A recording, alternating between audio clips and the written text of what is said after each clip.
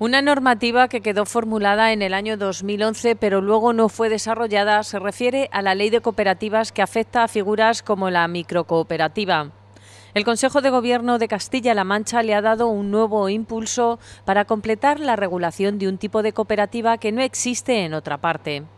ni en ninguna comunidad autónoma. Es decir, Castilla-La Mancha está siendo pionera en la regulación de este nuevo modelo cooperativo, de cooperativa rural, que lo que pretendemos es que en muchos pueblos donde realmente la cooperativa es el pulmón de toda su actividad, y antes hacía referencia a los municipios que concentran un gran número de cooperativas en la región, al final el que la cooperativa sea la empresa más importante del municipio eh, yo creo que refleja pues, la importancia social y económica que tienen nuestras cooperativas en los entornos rurales. Mediante este proyecto de ley se completará la regulación de un sector de la economía social que cuenta en la región con más de 2.200 empresas y emplea a más de 16.000 trabajadores.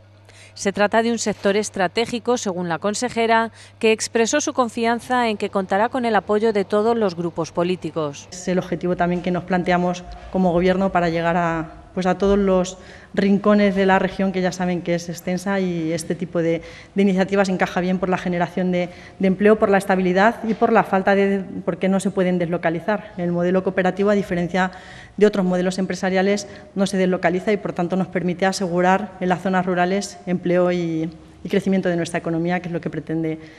las microempresas cooperativas, según la titular de Economía, Empresas y Empleo, han demostrado ser las empresas que mejor se adaptan a las consecuencias de la crisis económica. Con esta ley se da respuesta también a iniciativas empresariales de pequeño tamaño, para las que la figura común es la del trabajador autónomo o la comunidad de bienes.